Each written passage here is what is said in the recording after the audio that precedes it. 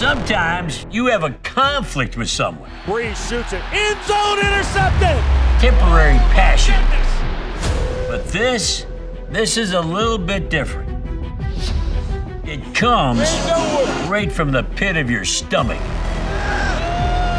There's no one reason for it. It's always there, and it never goes away.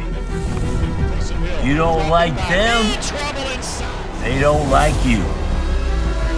Brings out the best of you, or the worst of you.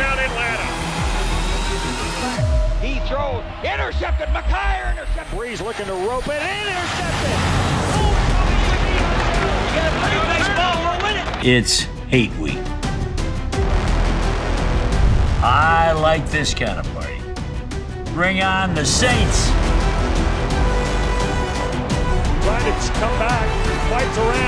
Will be sacked by Grady Jarrett.